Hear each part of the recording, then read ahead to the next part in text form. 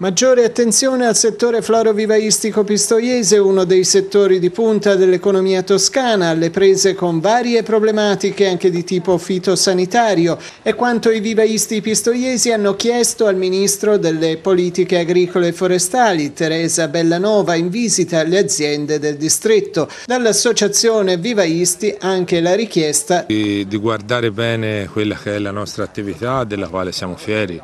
nel senso eh, che spesso chi si occupa di amministrare l'agricoltura ha conoscenza de, de, dell'agricoltura tradizionale, dell'olio, del vino, eh, ma non approfonditamente in genere eh, il settore nostro, il settore vivaistico. E niente come una visita eh, diciamo, eh, con, con i propri occhi, cioè personale dei, dei nostri vivai, fisica, eh, può migliorare questo aspetto. Questo è funzionale a cercare di, di coinvolgere il Ministero anche eh, in un miglioramento delle, delle, nostre condizioni, per noi sono problemi importanti di, di carattere fitopatologico eh, e quindi è necessario che eh,